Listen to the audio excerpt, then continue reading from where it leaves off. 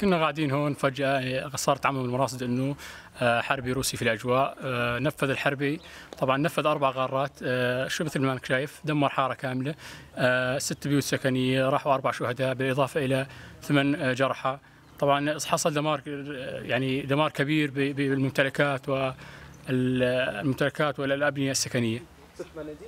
نعم.